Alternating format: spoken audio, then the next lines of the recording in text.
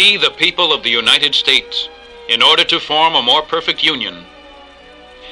Thus begins the noble document upon which the American concept of limited government was established.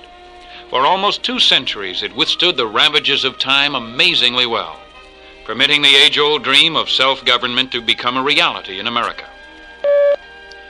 The citizens had met the responsibilities imposed upon them by the concept of self government by selecting for high office representatives whom they felt would best protect and preserve their freedom.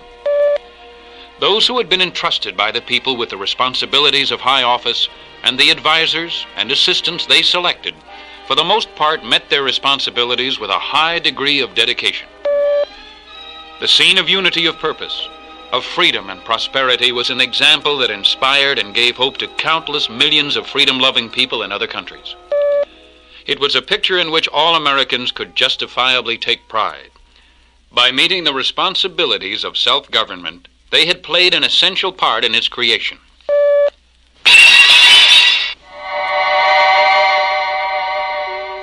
The shattering blow fell without warning, stunning the American people. They looked on in shocked disbelief as a totally different kind of picture was gradually exposed.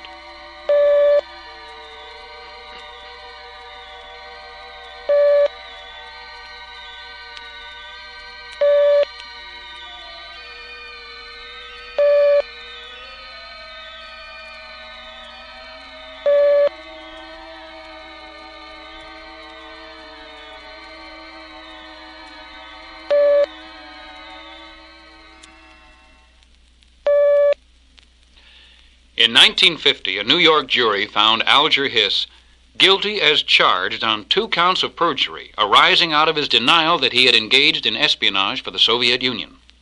The case of Alger Hiss first came to light in 1948 when Whittaker Chambers testified in open hearings before the House Committee on Un-American Activities. Chambers' testimony helped expose to the American people that a vast network of regimented communist agents had penetrated our federal government. The positions of influence attained by some of the exposed agents were shocking. Alger Hiss, fair haired boy wonder of the State Department, had been Director of Office of Special Affairs, Department of State, Secretary General at the founding of the United Nations Organization, Special Assistant to the Director, Office of Far Eastern Affairs, on the staff of the Solicitor General of the United States, Counsel to the Senate Committee investigating the munitions industry, and Assistant to the General Counsel of the Agricultural Adjustment Administration. Donald Hiss, Alger's younger brother, had been Assistant to the Legal Advisor in the Department of State, Assistant Solicitor, Department of Labor, and an attorney in the Public Works Administration. John J. Abt, Special Assistant to the Attorney General, Chief Counsel, La Follette Civil Liberties Committee, Special Counsel, Securities and Exchange Commission, Assistant General Counsel, Works Progress Administration, and Attorney for the Agricultural Adjustment Administration. Nathan Witt, Assistant General Counsel, National Labor Relations Board, Secretary of the National Labor Relations Board, and Attorney for the Agricultural Adjustment Administration. Lee Pressman, General Counsel, Works Progress Administration, General Counsel for the Resettlement Administration, and Assistant General Counsel for the Agricultural Adjustment Administration. Henry Collins, Jr., National Recovery Administration, Soil Conservation Service, Labor Department, Staff Member, House Committee on Interstate Migration, Senate Committee on Small Business, Senate Subcommittee on Technological Mobilization, entered military government service as captain and retired as major. State Department, Displaced Persons Program, and Intergovernmental Committee on Refugees. Charles Kramer, Staff Member, Senate Subcommittee on Wartime Health and Education, National Labor Relations Board, National Youth Administration. Staff Member, La Follette Civil Liberties Committee. Staff Member, Senate Committee on War Mobilization and the Agricultural Adjustment Administration. Victor Perlo, Treasury Department, Division of Monetary Research. War Production Board on Problems of Military Aircraft Production, Commerce Department, Economic Analysis, Office of Price Administration, Chief of the Statistical Analysis Branch, Homeowners Loan Corporation, and the National Recovery Administration. This elite group of conspirators were members of a cell headed by Harold Ware, a consultant to the Department of Agriculture. How many priceless American secrets they conveyed to Moscow will never be known. Testifying during the same open hearings as Chambers was Elizabeth Bentley, who, for 11 years, had been a courier in the communist underground in America. From her personal knowledge and experience, she revealed additional parts of an incredible picture of communist espionage in America. Miss Bentley revealed that Victor Perlo, in addition to being a member of the Ware cell, was the head of another communist spy ring known as the Perlo cell.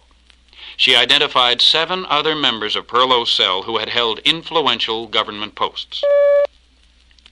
Elizabeth Bentley also exposed another communist spy ring in our government, known as the Silvermaster Cell.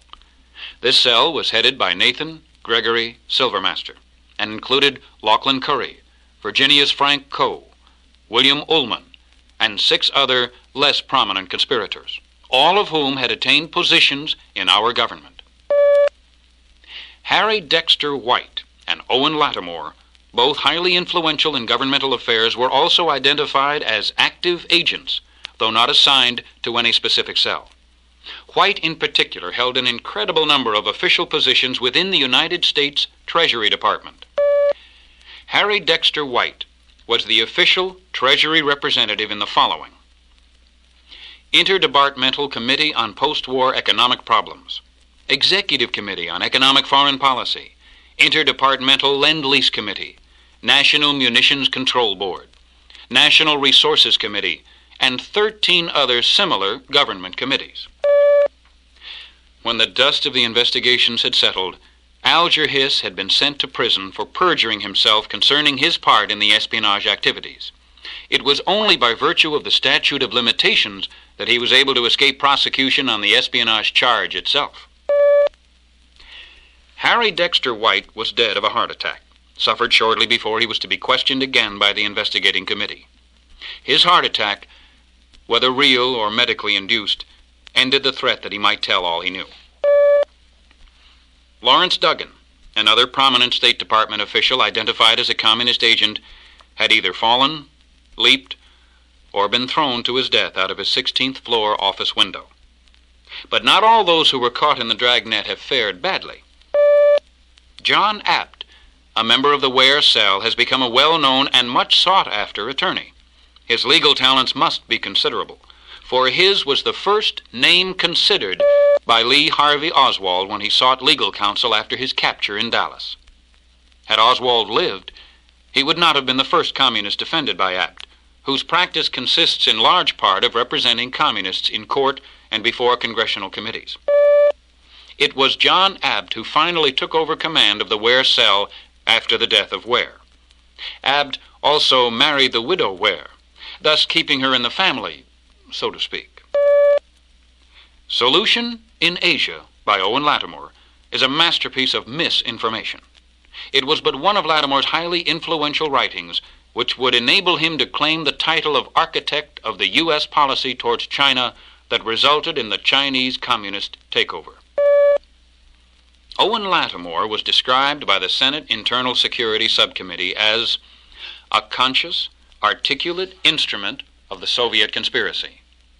He was indicted on a charge of perjury but his attorney managed to get four of the seven counts dismissed, and the balance of the charges never came to trial because of the Justice Department's lack of action. Dr. Lattimore went to Outer Mongolia in 1961. State Department officials denied emphatically that he was going there as an official representative. But just four months after Lattimore's return from Outer Mongolia, the U.S. government agreed to the admission of that communist satellite to the United Nations organization. Lauchlin Currie, now exposed as a communist agent, gave up his American citizenship after going south, possibly for his health. Currie went to South America, finally turning up in Colombia, where he obtained a position in the Colombian government in charge of administering funds contributed by the United States taxpayers under the Alliance for Progress program. Currie continued to serve his Kremlin superiors very well indeed, but at least he and the other agents exposed were no longer operating within our government itself. Most serious observers felt that only a portion of the picture had been exposed. that the communist agents thus far uncovered were only a part of the vast network of Soviet spies that had penetrated our government. They called for the investigations to be continued, but there were scoffers that rejected this idea. Some of the scoffers claimed that the investigations were only a witch hunt, and there weren't really any communist spies in the government. Other scoffers admitted that there might have been a few infiltrators, but all of them had already been exposed, and that further investigations would only injure innocent people. While still others claimed that communists were just people who believe in a different economic system, and it didn't really matter if some communists were in positions of influence in our government. Their words varied somewhat, but their basic demand was the same stop the investigations. Interlocking subversion in government departments a U.S. Senate report released on July 30, 1953, was based on three years of intensive probing into the extent of communist penetration into our government. Here was an authoritative voice speaking, and the conclusions of their investigation on page 49 are chilling. Conclusion 1 stated the Soviet International Organization has carried on a successful and important penetration of the United States government, and this penetration has not been fully exposed. Conclusion 2 stressed this penetration has extended from the lower ranks to top level policy and operating positions in our government. Conclusion 6 In general, the communists who infiltrated our government worked behind the scenes guiding research and preparing memoranda on which basic American policies were set, writing speeches for cabinet officers, influencing congressional investigations, drafting laws, manipulating administrative reorganizations, always serving the interest of their Soviet superiors. Conclusion 12, then stated with damning finality Policies and programs laid down by members of this Soviet conspiracy are still in effect within our government and constitute a continuing hazard to our national security. This official U.S. Senate report went on to urge that additional investigations be conducted to expose the remaining conspirators. Numerous investigations were held by congressional committees on communist penetration into many areas of American life education, communications, movie industry, religion, labor organizations, and others. But conspicuous by its absence is the lack of any additional investigations on subversion within the government itself. This lack raises many questions, and the implications of the answers are frightening indeed. President Truman attempted to shut off the public exposure of subversives in government before the first open hearings were held. President Truman, by his directive of March 13, 1948, appeared to effectively close the executive department files to the congressional committees who were even then investigating the Alger Hiss affair. His directive to all executive departments stated any subpoena or demand or request for information, reports, or files received from sources other than those persons in the executive branch of the government who are entitled thereto by reason of their official duties shall be respectfully declined on the basis of this directive. Thus, in a blatant example of the abuse of executive power, President Truman moved to close all records in the executive branch, even to duly authorized committees of the Congress charged with the responsibility of helping to protect the American people from subversives within our government. This action made exposure of the extent of penetration virtually impossible and the Chambers Hiss confrontation might have had an entirely different conclusion except for a little known event that occurred shortly after President Truman's directive. Hiss had appeared before the House committee and denied Chambers' charges. He was quite impressive in his denials, and the committee was not certain who was lying Hiss or Chambers. The pressure and the temptation was very great to just drop the matter. But at that point, John Peurifoy, Assistant Secretary of State in charge of security, chose to place his country's welfare above any misguided sense of loyalty to the President or fellow State Department officials.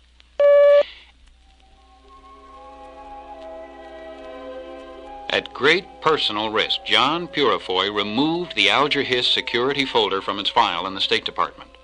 At 1 a.m. in the morning, he took the folder to then Representative Karl Mundt, acting chairman of the House committee.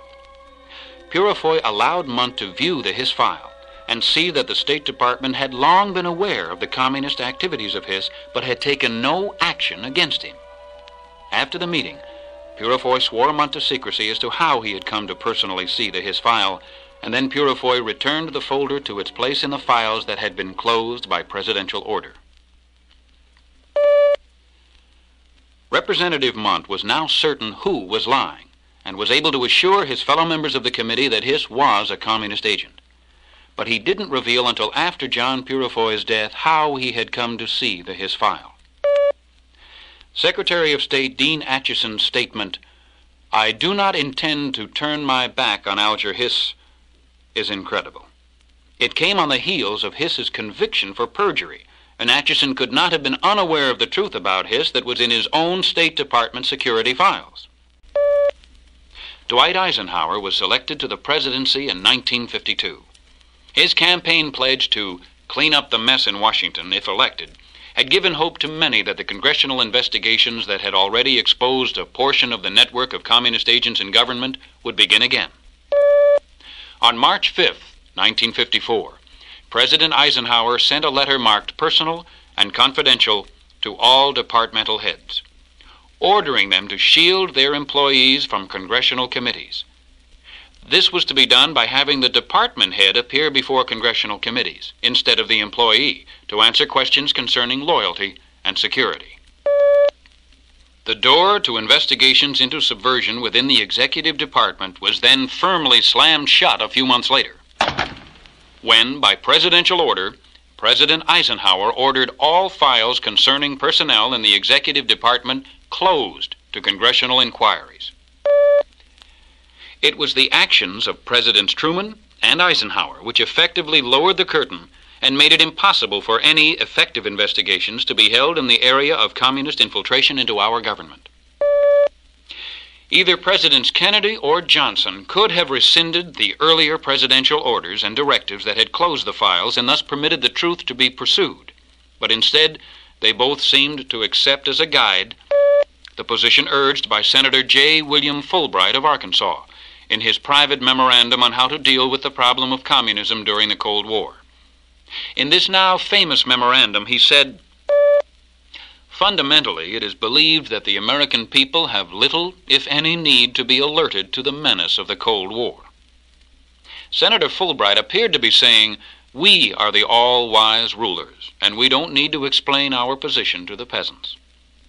Senator Fulbright went on to say that during the Cold War, the principal problem of leadership will be, if it is not already, to restrain the desire of the people to hit the communists with everything we've got. Pride in victory and frustration in restraint during the Korean War led to MacArthur's revolt and to McCarthyism. No one can deny that General MacArthur had good reason to be frustrated. This outstanding American dedicated his entire life to defending our nation and our freedoms. His knowledge of military tactics was truly remarkable, and his record of success is to this day unequaled. But in Korea, General MacArthur found himself to be hampered not as severely by the shortages of manpower and supplies as by the restrictions on his military operations imposed by his political superiors. The no win war he was forced to conduct in Korea tragically touched many thousands of American families. The question, for what purpose did these Americans die, is still being asked, for they were not permitted to win. The war in Korea has still not officially ended, and daily headlines remind us that Americans still man this outpost at the 38th parallel in Korea. General MacArthur shared with millions of other Americans frustration over the Korean debacle. Senator Fulbright's use of the term McCarthyism is an example of the hatred those of his ilk still feel for the late Senator Joseph McCarthy. Senator McCarthy was certainly no saint. But few men in modern history have been attacked as viciously and as unfairly. To describe Senator McCarthy as frustrated would be an understatement of the greatest magnitude. During the Senate committee hearings he held, every imaginable obstacle was constructed to prevent him from making public to the American people the information he must have known was locked away in executive department files. Interlocking subversion in government departments provides ample evidence to support Senator McCarthy's contention that there were unexposed communist agents still in the government. The following testimony given by Elizabeth Bentley to Committee Counsel Robert Morris reveals her first-hand knowledge of their existence. I agree with Whittaker Chambers that quite obviously there still are communists in the government, partially because it's an obvious thing, and partially because I was told by one of my Soviet contacts about the existence of other groups in the government. In other words, you knew there were espionage rings other than your own in the government, and you know they haven't been exposed. I know they haven't been exposed. I was not told who they are, but since they were not exposed, obviously they are still operating. You knew of two individual rings working under you. Two individual rings plus a collection of individuals I dealt with individually. One was the Silvermaster ring, That is correct. and the other? We called it the Perlo Group. You had some indirect knowledge that Alger Hiss was operating in the communist framework, did you not? Yes. One of the members of the Perlo Group had at one time been taken out of that group by Mr. Hiss and turned over to the Russians. And I discovered that during the course of my talking to one member of the group. In other words, there was still a third group that you knew of that existed at that time.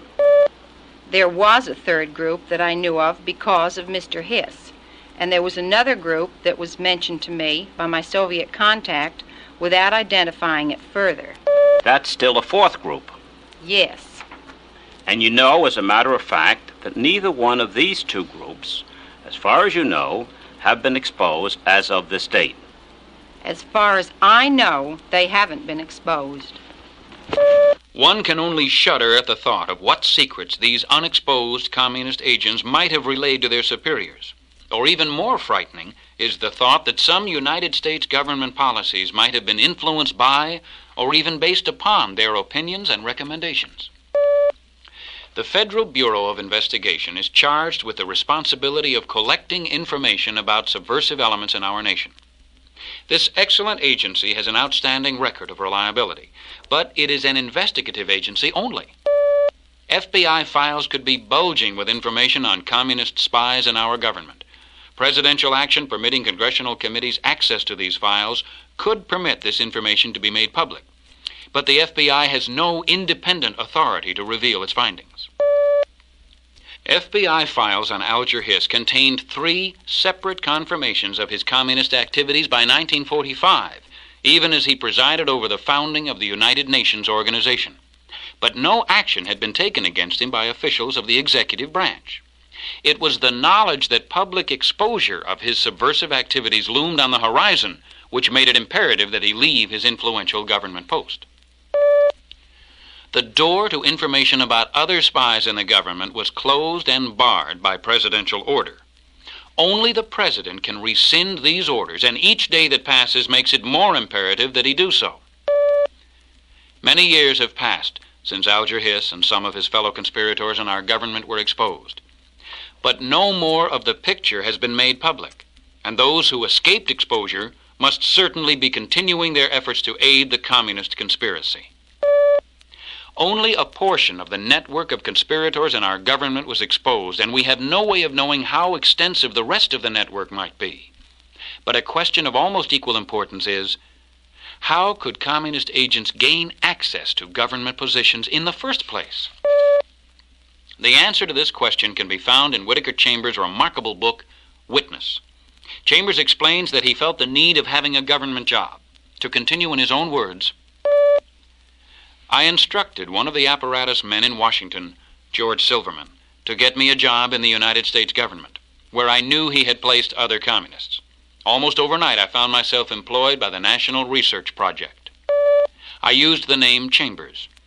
It had been a simple matter for the party to place me in the government, since one of the national heads of the research project, George Silverman, and my immediate boss on the job were all members of the Communist Party. It seemed to be a simple matter after all. Was it really as simple to infiltrate our government as Chambers claimed? Could his statement be an exaggeration or just an exceptional case of careless screening of potential employees by the executive department of our government? The Department of Agriculture, not involved in military, diplomatic, or other secret projects, had minimum security requirements. It was particularly vulnerable and offered easy access. This is where Alger Hiss began. In fact, where six of the nine earlier mentioned members of the Ware cell began their government careers. The Senate report explains what happened after the conspirators had gained employment in the government. Almost all of the persons exposed by the evidence had some connection which could be documented with at least one and generally several other exposed persons. They used each other's names for reference on applications for federal employment. They hired each other. They promoted each other. They raised each other's salaries.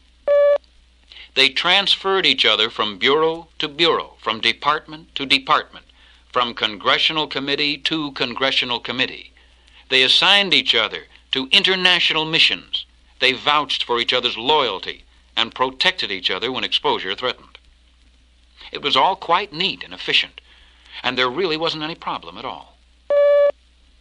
Presidential action could remove the existing barriers and permit congressional committees access to the information locked away in the security files. This would enable the committees to determine how many of the unexposed conspirators in the executive branch, referred to by the Senate committee in 1953, are still on the job. It is possible that the unexposed spies are still communists, but no longer in the government. This would appear most unlikely, for a disciplined communist stays on his job as long as possible in order to continue his espionage and subversion. Perhaps the unexposed communist agents have seen the light. Perhaps they have all discovered that communism is no longer to their taste and suddenly become good and loyal Americans. If this were the case, just as did Chambers, Bentley, and a few others, a considerable number of additional repented communist spies would have come forward to testify and attempt to undo some of the damage they had done.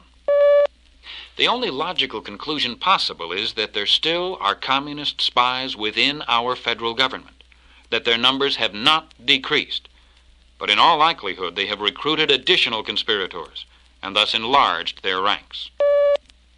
Those who value freedom should ponder the warning issued by Abraham Lincoln over a century ago. His words ring truer today than ever before in our nation's history. Shall we expect some transatlantic military giant to step the ocean and crush us at a blow? Never. All the armies of Europe, Asia, and Africa, combined with all the treasure of the earth, our own excepted, in their military chest, with a Bonaparte for a commander, could not by force take a drink from the Ohio or make a track on the Blue Ridge in a trial of a thousand years. At what point, then, is the approach of danger to be expected?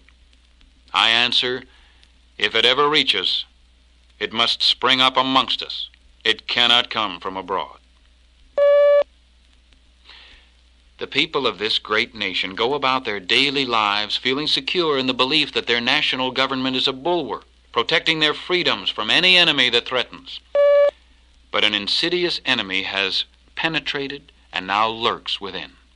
If freedom is to be preserved for future generations, the American people must face this reality and react accordingly.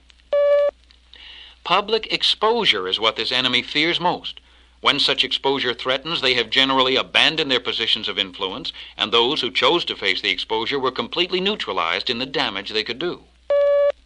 The President of these United States, should he choose to do so, can, by the simple stroke of his pen, remove the barriers that have been erected and which enable the enemy within to remain concealed. Will he take that action? An overwhelming avalanche of letters demanding that he do so would probably get results but it will take an avalanche of gigantic proportions, for political figures generally choose to play it safe, moving in response to the demands of the electors if the voice is loud enough. Are there enough truly concerned Americans to create an avalanche of sufficient size? Let's begin with you. Will you do your part while there is still time? The pamphlet, Interlocking Subversion in Government Departments, can help you to interest others in doing their part to reopen the investigations on subversion within our government. Copies may be ordered from the United States Government Printing Office, Washington, D.C., at 20 cents each.